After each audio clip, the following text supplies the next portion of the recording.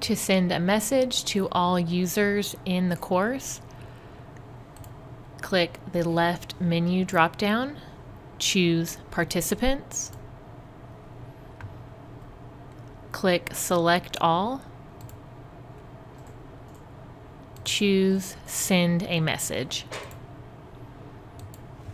Type your message and click Send Message.